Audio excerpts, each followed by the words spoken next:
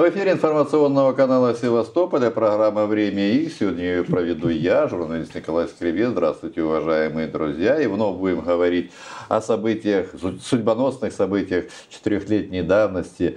У нас в гостях один из самых активных участников «Русской весны» Дмитрий Анатольевич Белик, депутат Государственной Думы Российской Федерации. Здравствуйте. Здравствуйте, Николай Андреевич. Поздравляю вас с этой годовщиной. И вас тоже. Дмитрий Анатольевич, на момент проведения митинга э, «Доброй воли» вы работали, ну, будем говорить, были вторым человеком э, в администрации э, Владимира Яцубы. Легко ли было принимать вот, э, решение следовать именно воле севастопольцев? Ну, я кроме того, что был вице-губернатором по социальным вопросам в правительстве Яцуба Владимира Григорьевича, кстати, ему очень благодарен за вот ту работу, за то сотрудничество, которое мы вместе прошли. Э, очень много полезного я подчеркнул. Но речь сегодня не об этом, конечно. Я, кроме этого, был и депутатом городского совета. Меня вместе с тем избирали севастопольцы, избирали три раза, вы это помните. И началось все, собственно говоря, со звонка Алексея Михайловича Чалова вечером 23 февраля. Я на тот момент был в Москве. Мы позвонили вечером. Я уже был в аэропорту Шереметьево, готовился вылетать в Севастополь. Был задан конкретный простой вопрос. Э, было так сказано, Дима, мы тут власть берем в свои руки, ты с нами или нет? В итоге, ну, это было в телефонном режиме, договорились, встретились 24 это был понедельник, утром городской администрации у меня в кабинете, сделали телевизор погромче, и я задал несколько вопросов. Говорю, Алексей Михайлович, мы идем в Россию? Он говорит, да. Я говорю, Россия знает об этом? Он говорит, да. Я говорю, тогда я с вами. Вот это вот, если очень коротко вот рассказать о начале как, как русская весна началась для меня, вот это было именно так. Буквально через 10 э, дней вы становитесь уже вторым человеком в команде Чалова да, в исполнительном комитете. Какие трудности испытывали вы в первые дни, учитывая, что опыт управленческой деятельности городского масштаба имели, пожалуй, только вы?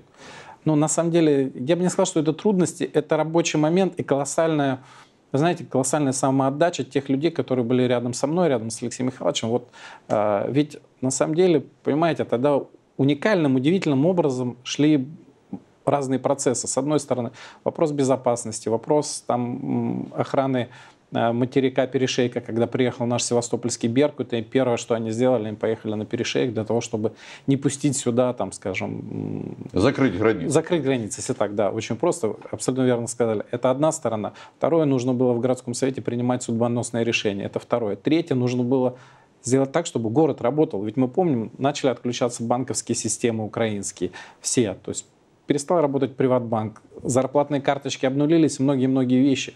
А нужно было руководить городом, и мне тогда э, на самом деле было доверено, я был исполняющим обязанности главы администрации, и благодарен еще раз тем людям, которые были рядом.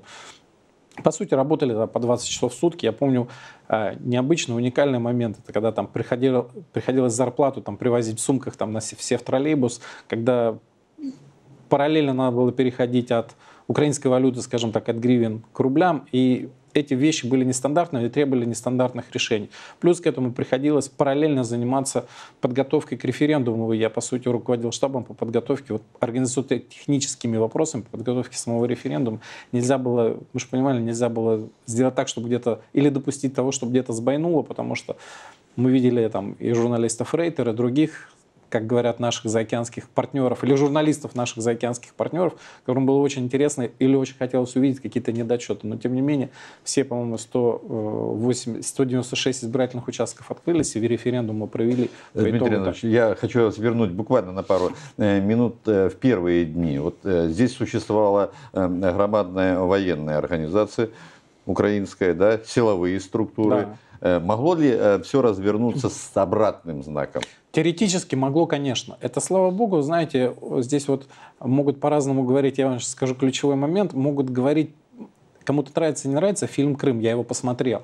И там есть очень интересный один момент. Помните, когда летит э, истребитель украинских ВВС и получает команду сбить российский транспортный самолет. А летчик говорит, приказываю цель уничтожить, а летчик говорит, приказ выполнить не могу и разворачивается. То есть это о чем говорит? О том, что вот тогда, слава богу, такая была ситуация, что украинские военные или военнослужащие Украины, они жили на одних площадках с нашими, то есть жены общались, это все равно было одно, одно сообщество, одни люди, и никто, слава богу, ни, ни у кого не, не хватило ума, ну или наоборот хватило ума не открыть огонь на поражение. Служебного рвения. Служебного рвения. Это на самом деле промысел. Это очень хорошо, что так получилось, слава богу. Да, безусловно, мы же понимаем, что очень много сделали отряды самообороны, много очень сделали люди военнослужащие, где было огромное количество переговоров. То есть и по сути все завершилось мирно. То есть часть украинских военных и сегодня служит в российской армии, кто-то принял другое решение. Никто никого не держал, никто никого не удерживал после референдума покинули полуостров, это абсолютно право каждого человека. Мы-то тем на сегодняшний день отличаемся, мы никого не держали, у нас даже референдум проходил. Я часто на ток-шоу в Москве говорю своим оппонентам, послушайте, говорю, о какой вы демократии говорите? Вы, говорю, сделали один украинский язык, вы не видите других людей. А у нас даже референдум по вхождению в Россию проходил бюллетень на трех языках. Русский, украинский, крымско-татарский. Пожалуйста, мы никого не, не, не ущемляли в правах. Да, в первые дни была такая вероятность, я скажу больше, была попытка арестовать народного мэра, это, это при мне было, и, по сути, мне удалось его предупредить. Мы за 20 минут до, до предполагаемого ареста покинули через черный ход здания городской администрации, именно через черный ход. А через 20 минут приехало 6 автоматчиков, двое людей в штатском. Понятно, кого они искали, они искали нас. И... Не, не пироги вам привезли. Вернемся да. к хронологии. 6 марта э, парламент э, э, Крыма проголосовал, в общем-то, за вхождение в состав Российской Федерации. А заодно перенес дату референдума на 10 дней раньше, на 16 марта вместо 30 Синхронно об аналогичном решении, возможном аналогичном решении, моментально заявил никто иной, как исполняющий обязанности главы администрации Белик Дмитрий Анатольевич. Вот насколько, насколько своевременно было решение и крымского органа представительской власти, и Севастопольского горсовета? Ну, тут скрывать не буду. Эти решения координировались, безусловно, были на прямой связи. Э, мне довелось, и я это помню, как очень хорошо это врезалось в память. То есть мне довелось докладывать это решение. Решение было такое, что городу Севастополю, ключевые фразы из этого решения, городу Севастополю войти в состав Российской Федерации в качестве субъекта Российской Федерации и назначить для подтверждения... свой особый статус. Сейчас скажу. Для, для, для подтверждения этого решения, э, для подтверждения этого решения назначить референдум на 16 марта 2014 года э, и провести его вместе с крымчанами. То есть тогда э, Тогда еще был вопрос, будем ли мы отдельно и будем. Тогда стояла главная задача, э, конечно, хорошо, что мы город федерального значения, отдельный город, но тогда стояла задача провести референдум. И я как сейчас помню, когда мы вышли из здания городского совета, стояли люди, огромное количество людей вот перед городским советом, вся площадь.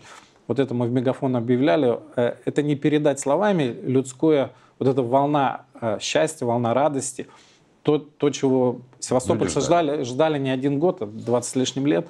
Я на самом деле много говорил об этом, еще раз скажу.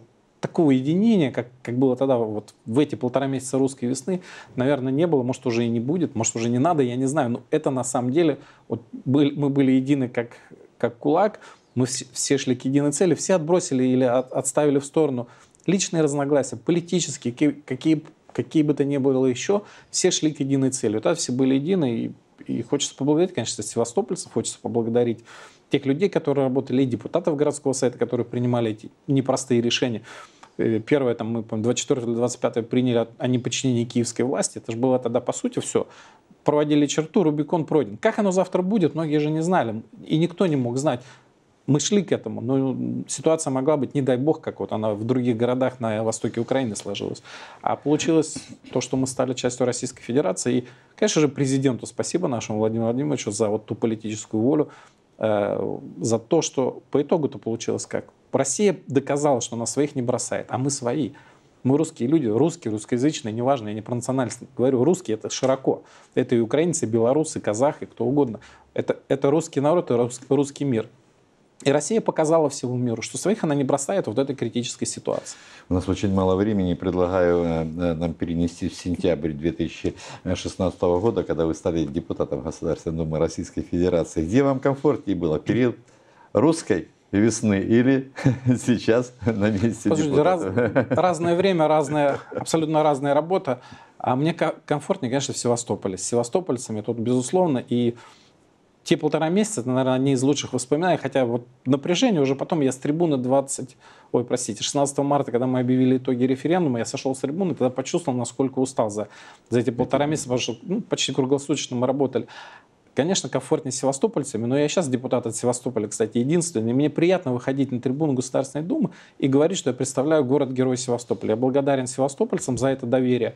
Я сделал максимально возможное то, что от меня зависит на федеральном уровне, на местном уровне, для того, чтобы помочь с решением тех или иных вопросов. Они у нас есть в городе, и социальные вопросы, и вот многие-многие другие, но тем не менее мы какие-то вопросы уже решаем, и с подачи правительства, и с подачи президента, и социальные инициативы, и многие-многие вещи, которые в ближайшее время и уже севастопольцы почувствовали, как и все россияне, это минимальная зарплата повышенная и другие вещи. Я понимаю, что в Севастополе особая специфика. Вот у нас буквально позавчера была э, комитет Государственной Думы по природопользованию, проблемы с садоводами обсуждали. Огромный скажу как есть, ворох проблем, разных проблем, абсолютно разных, с которым, из каждой с которой требует своего подхода. И здесь я скажу тезис президента. Самое главное не забывать, что для нас, для всех, для политиков, как говорит наш Владимир Владимирович, Самое главное для нас люди. Это самое большое богатство. Не бюджет, не, там, не еще что-то. Это все нужно. И армия нужна, и все. Но люди для нас самое главное. И это вот первое, о чем мы должны думать, принимая те или иные решения. А другого у нас времени другого нет, нам поэтому не дано. вам, бу- вам буквально 30 секунд для того, чтобы поздравить всех и с четырехлетней э, датой э, русской весны. И учитывая, что мы в преддверии все-таки Международного женского дня, наверное, женщин Севастополя. Вот давайте начну с женщин Севастополя. Ведь на самом деле женщины это украшение. Я, я просто себе не представляю, как бы мы жили, если бы рядом не было женщин. Мы вас любим, мы вас ценим, мы хотим вам нравиться, не будем этого скрывать. Спасибо вам за то, что вы есть. В Севастополе самые прекрасные женщины, девушки, мамы. И дай Бог вам всего самого хорошего в преддверии вот этих праздников прекрасных женского, Международного женского дня. Ну и, конечно же, всех еще раз поздравляю вот с этими событиями. У нас три даты уникальных. 23 февраля, 16 марта, 18 марта, когда мы шли в Россию. И мы туда пришли. Мы сегодня дома, мы сегодня в России. А те неурядицы, которые есть, они будут преодолены, и я думаю, через пройдет немного времени, и мы забудем о тех проблемах. Но мы у себя дома, мы на родине, и спасибо вам за этот подвиг другого слова здесь не подберешь. Спасибо вам. Это был Дмитрий Анатольевич Белик, один из самых активных участников тех событий э, четырехлетней э, давности, депутат Государственной Думы Российской Федерации. Спасибо вам. Вам спасибо. Всего доброго нашим телезрителям и до встречи э, в программе или в, рамке, в рамках программы «Время X».